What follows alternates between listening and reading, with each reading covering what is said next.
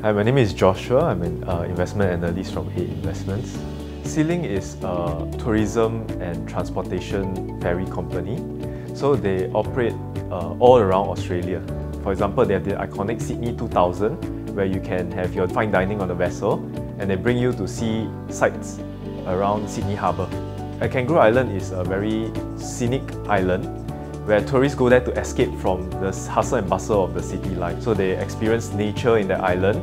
They run tours and coaches uh, on the island to bring people around. They also run Murray Princess, uh, which is a paddle wheel factory, a very historic kind of a factory to bring you down Murray River. So over at Queensland, which is Western Australia, they run similar tours to two very key islands, Magnetic Island and Palm Island. Some of their key operations, for example, is in Sydney, where they run under the brand called Captain Cook's Cruises. So you're able to go, for example, on board their key fleet, Sydney 2000, where you can do fine dining and they'll tour you around Sydney Harbour area, where you can view the Sydney Opera House, you can view the Sydney Harbour Bridge.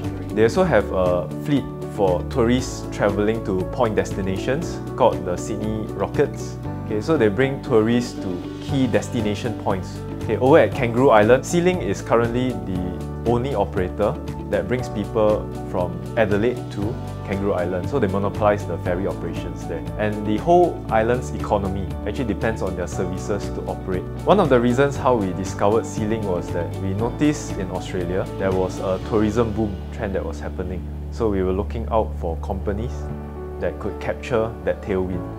Sealink is not your typical ferry operator.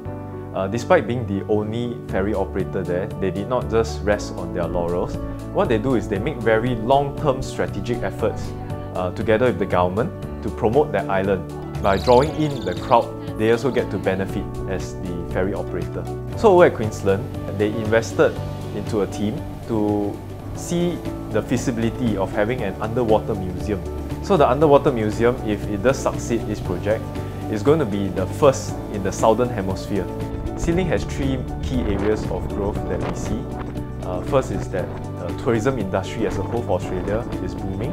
As of last year, September, they just crossed their 8 million visitors per year mark. As of this year, June, they have already crossed the 8.5 million. Second is that we see how they have been implementing a lot of technology into their business operations. So they came up with this mobile ticketing app whereby you can purchase your tickets on mobile phone without having to go to the counter. And to board the ferry, you just need to tap the phone. Another tech operation that they are putting in is the Opal card system. The integration of this Opal system, which is very similar to Singapore's EZ-Link system. Once they have this system on board, their, their fleet of ferries suddenly becomes part of the Sydney government's public transport system. And what this means is that the passengers that is boarding the bus can also board the ferry as part of their public transport option. And lastly is that we see how they have been aggressively expanding. Uh, with the success story of Kangaroo Island, they are taking and copying this mode of operation into all the other islands that they are expanding into. The main risk that Sealink face is the cyclical nature of the tourism industry. And part of that is tied to the relationship between two countries as well as the general outlook of the economy. To mitigate this risk, they are focusing a lot on the transportation industry, which is more recurring in terms of revenue as well as more stable in terms of its profits. And now Sealink has a significant portion of its revenue contributed from transportation. So another key risk that Sealink face is uh, the competitive nature of the industry, but I feel that this risk is mitigated uh, because of the way that they have a very long-term outlook to their business operations and the, how different they operate from the rest of the ferry operators. So Jeff first encounter with Sealink was, okay, subsequently he was being employed by Sealink because of his good work attitude.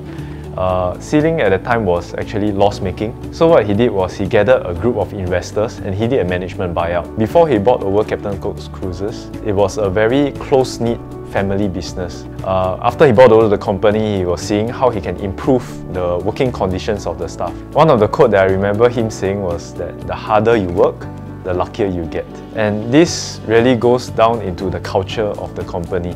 Because of the culture that Jeff has permeated to his staff, um, his staff being in a very happy working environment, they're able to translate their happiness to the customer's experience. Okay, so over the years, uh, ever since uh, listed, It's grown from a 140 over million dollar market cap company to now a 400 million dollar market cap in a span of three years. Its revenues has been increasing year on year along with its profits. So in fact, in their recent financial release for year 2017, they have just broke their previous year record high with about a 13.5% increase in revenues. Uh, net profits have also increased. Their dividend also increased year on year ever since they started up. Okay, so given the long-sighted strategy of Jeff and the management team, along with the work culture of the staff, it makes Sealink a very unique hidden champion.